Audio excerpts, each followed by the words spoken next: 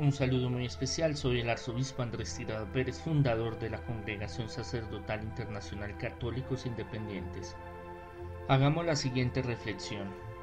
La ociosidad o falta de ocupación es más peligrosa para los viejos que para los jóvenes, y eso que para la juventud es también terriblemente peligrosa.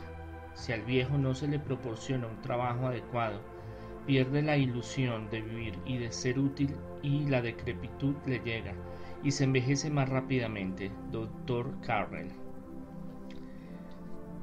En, este, en esta sociedad, sobre todo suramericana, colombiana, después de los 30 años, eh, en términos laborales, en el ámbito laboral ya somos eh, viejos, digámoslo así, pasado de moda, ya, ya es más complicado. Y cada día pues es más luchado y más complejo el conseguir trabajo.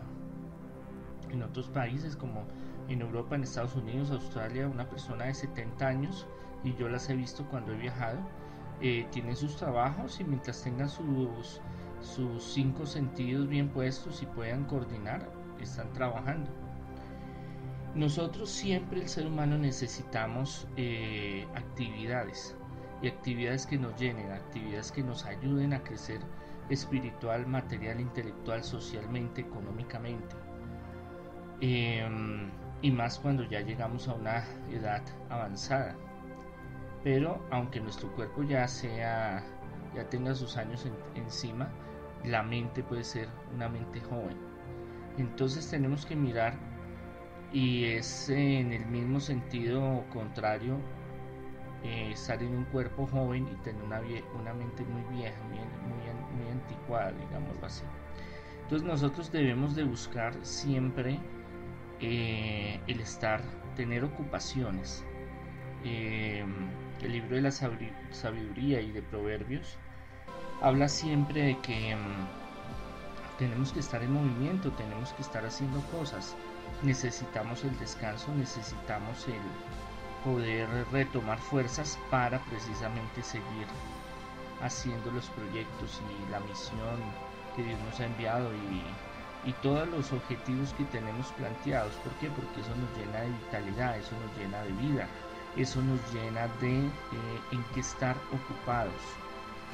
Y el no estar ocupados nos lleva a la depresión, a la ansiedad, al, estar todo el tiempo aburridos, al querer, eh, eh, al no poder hacer las cosas.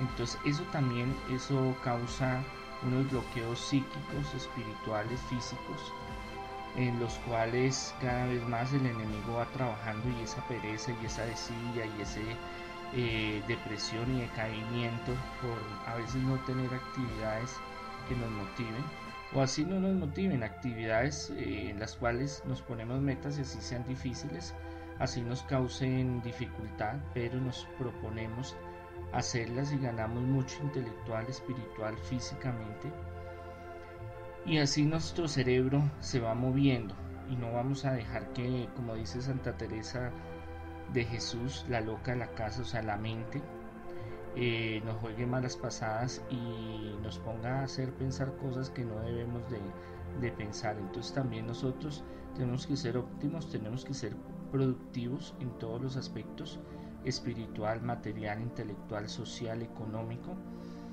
Y una gran forma para nosotros estar eh, activos es teniendo actividades, teniendo actividades aparte del trabajo, aparte del estudio, de la formación académica, también la formación personal y espiritual.